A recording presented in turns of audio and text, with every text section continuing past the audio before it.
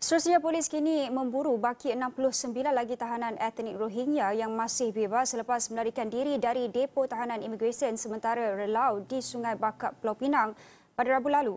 Bilangan terkini tahanan yang masih bebas itu dikeluarkan selepas tiga lagi tahanan ditahan pihak polis. Ketua Polis Kedah, Komisioner Wan Hassan Wan Ahmad berkata, selepas tiga lagi ditahan, baki 69 masih diburu dan usaha menangkap mereka sedang digerakkan. Menurutnya, operasi akan diteruskan di lokasi tertentu melalui op kesan yang digerakkan membabitkan anggota dan pegawai polis dari Kedah, Pulau Pinang dan Perak. Dalam kejadian Rabu lalu, 528 tahanan di depo imigresen sementara Lau Sungai Bakap bertindak merusuh dan melarikan diri.